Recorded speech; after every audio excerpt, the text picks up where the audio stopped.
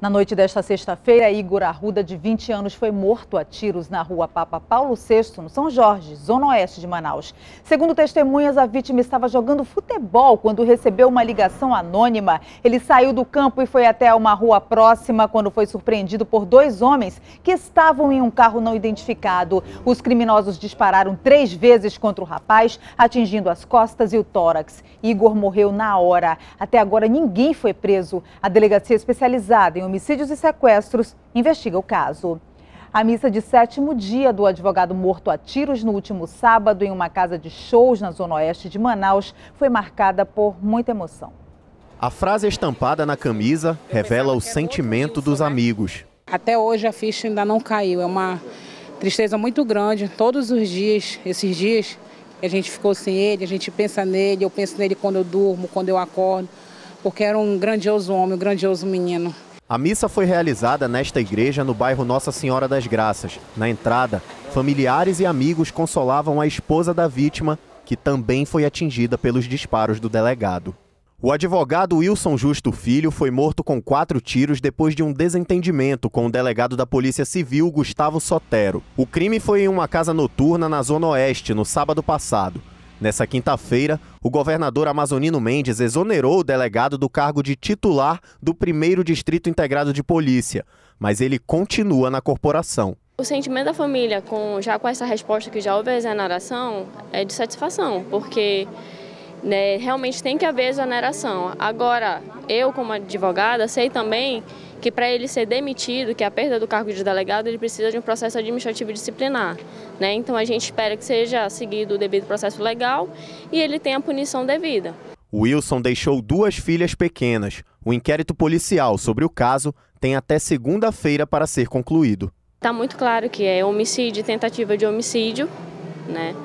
E isso, a doutrina, a jurisprudência e a lei está a favor é, das vítimas, e o que a gente espera é que a lei seja cumprida, que a justiça seja feita. O delegado Gustavo Sotero, acusado de matar a tiros o advogado Wilson Justo Filho em uma casa de shows, vai contar com mais um advogado criminalista em sua defesa. Ele foi apresentado hoje durante uma coletiva de imprensa. Cláudio Daledoni Júnior está aqui na capital desde quinta-feira avaliando os detalhes sobre o caso. O advogado criminalista atuou na defesa do ex-goleiro Bruno, acusado de mandar matar a ex-companheira dele, Elisa Samúdio, em 2010. Segundo ele, a tese usada durante o processo vai ser a de legítima defesa. O advogado falou também da importância do inquérito policial para o andamento do processo e disse que a real apuração dos fatos é essencial para que a justiça seja feita. Crianças do Prosamin do Mestre Chico, na Zona Sul de Manaus, participam de um torneio de futebol por meio de um projeto social que precisa muito de ajuda.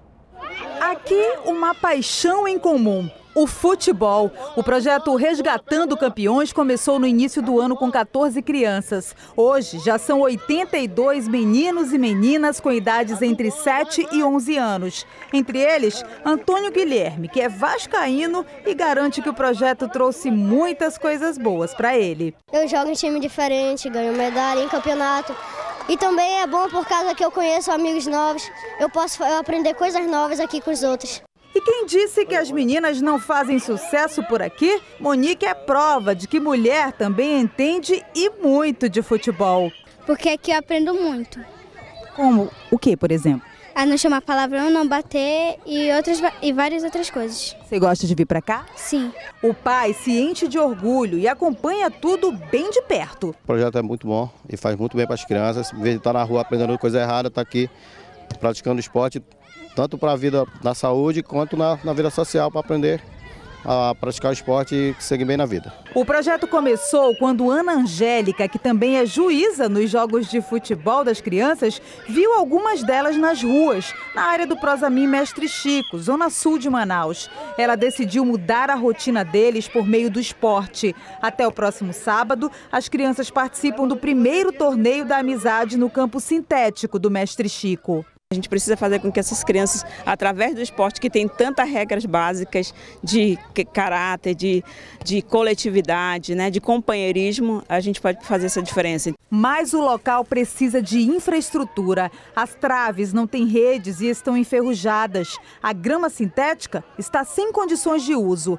As grades de proteção também estão deterioradas e a iluminação não funciona. Então a gente precisa realmente de ajuda, aqueles que puderem ajudar, que querem é, contribuir com esse projeto para levar, não somente manter essas 80, mas crescer esse número de crianças que aqui estão. Quem quiser ajudar este projeto social que beneficia crianças no Prosamin do Mestre Chico, pode ligar para os telefones que aparecem na sua tela. As crianças agradecem.